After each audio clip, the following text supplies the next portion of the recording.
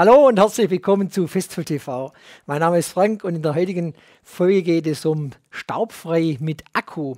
Was heißt es konkret? Ich habe hier den Systenersauger, den Akku-Systenersauger und hier die Handkreissäge mit Führungsschiene. Und so könnte es zum Beispiel aussehen, wenn ich jetzt hier auf die Baustelle gehe und Arbeiten zu erledigen habe, wo ich ja keine Kabeltrommel benötige, keine Steckdose, wo ich alles hier an Power, an Energie mit mir dabei habe. Schauen wir uns den kleinen Sauger mal genauer an. Und diesen Sauger bieten wir einmal in der Staubklasse M an und in der Staubklasse L. Also für beide Anwendungsbereiche den richtigen Sauger. Die, der Sauger hat hier im vorderen Bereich zwei kleine äh, Aufnahmen und hier kann ich die Akkupacks, die 18 Volt Akkupacks äh, einschieben. Und hierfür habe ich natürlich auch wieder einen Systemer, wo die Akkupacks dann drin sind. Und das Schöne daran ist, ich kann hier diesen Sauger mit diesem Systemer koppeln, weil er ja die gleiche Größe hat und bin hier wiederum sehr mobil, kann das Ganze sehr kompakt miteinander verbinden. Schauen wir uns mal an, was wir hier jetzt alles drin haben in unserem Energiesystemer. Zwei 18 Volt 4,0 Ampere Akkupacks, die ich hier in den Sauger montiere und was mir besonders gut gefällt, hier das Ladegerät, ein Doppelladegerät, wo ich hier zwei Akkupacks äh, von der Größe ja, 4,0 bis hoch zu 6,2 laden kann. Schöner Vorteil, um hier das Ganze ja, schön aufbewahrt zu haben. Schieben wir mal die ganzen Akkupacks, die wir hier jetzt dabei haben, in diesen Schacht hier rein. Wird einfach hier eingeschoben. Zum Entfernen einfach hier wieder draufdrücken, kann man wieder rausnehmen, das Ganze sehr komfortabel. Was man beachten muss, hier kann ich diese 4,0 Ampere Akkupacks einsetzen. Die 5,2 Akkupacks oder größer funktioniert hier nicht, also ausschließlich für die 4,0 Ampere Akkupacks. Auch wichtig zu wissen, ich komme, bekomme immer die Frage, gibt es hier vielleicht Adaption, dass man hier ein Stromkabel dran machen kann? In dem Fall haben wir uns entschieden, hier einzig mit diesen Akkupacks zu arbeiten und kein Stromkabel zu verwenden. Schauen wir uns das Ganze mal im vorderen Bereich an. Wir haben also hier den Einschalter, sodass das ganze System mal eingeschaltet ist. Und wir haben hier den manuellen Einschalter.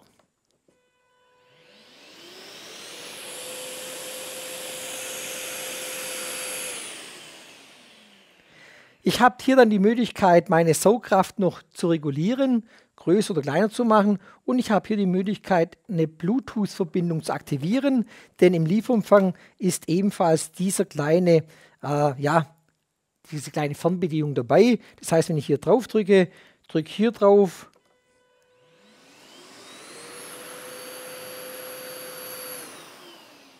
ist es automatisch verbunden und ich kann hier über diese Verbind Fernbedienung den Sauger starten. Und das ist eigentlich immer von Vorteil, wenn ich zum Beispiel auf der Leiter oben arbeite oder wenn ich hier Reinigungsarbeiten durchführe, dann kann ich hier sehr komfortabel das Ganze einschalten.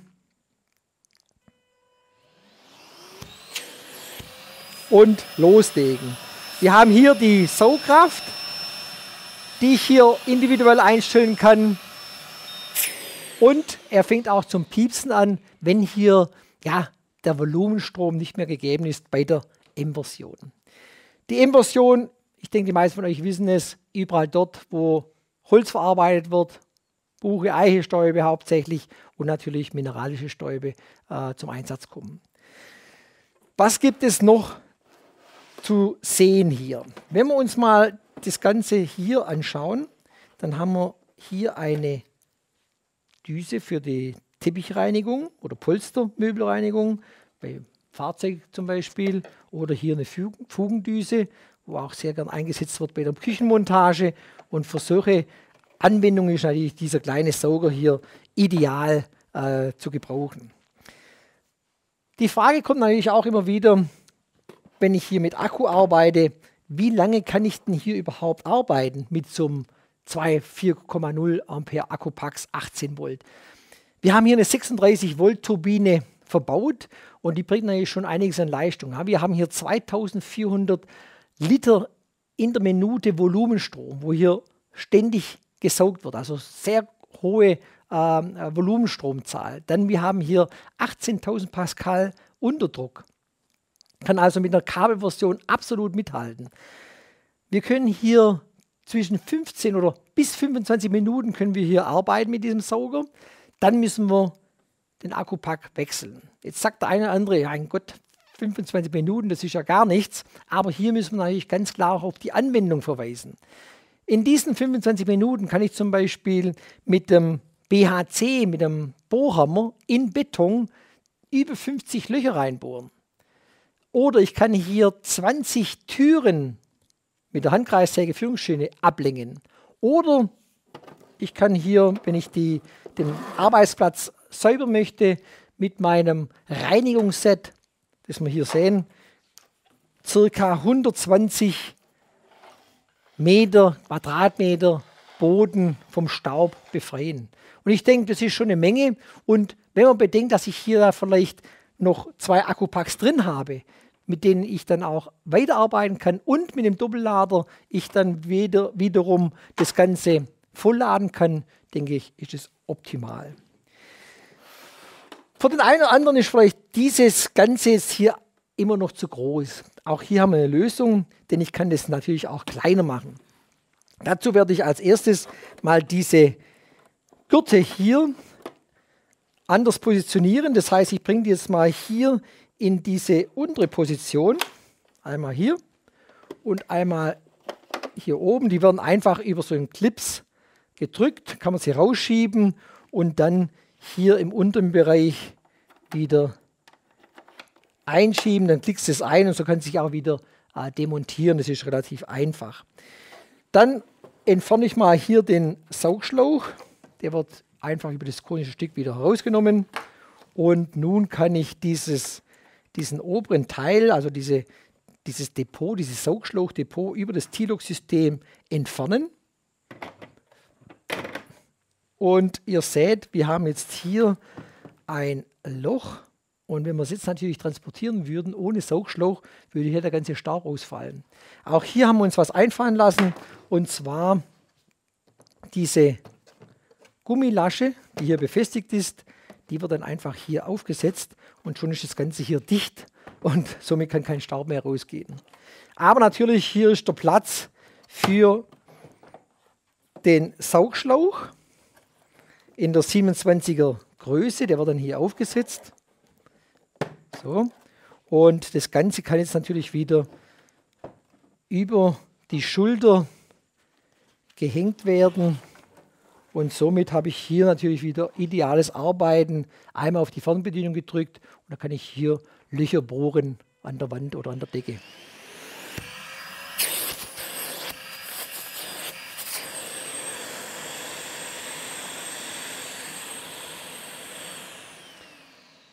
Wie schon gesagt, entweder über Fernbedienung oder hier über dieses Display kann ich das Ganze dann bedienen.